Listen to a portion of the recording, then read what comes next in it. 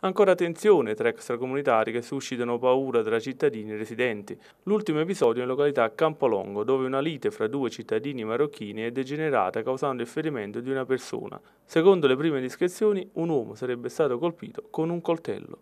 Sul posto sono intervenuti i volontari del 118 che hanno trasportato il ferito all'ospedale Maria Santissima Addolorata e i carabinieri della locale compagnia che indagano sul caso. Invece, sempre nel weekend, nel centro storico sarebbero state tre ore di guerriglia, suon di bottiglie e di pietre lanciate nelle finestre sui balconi delle case, e quanto denunciato ai carabinieri da un cittadino italiano residente nel centro storico di Eboli. L'episodio adesso è attenzionato dalle forze dell'ordine.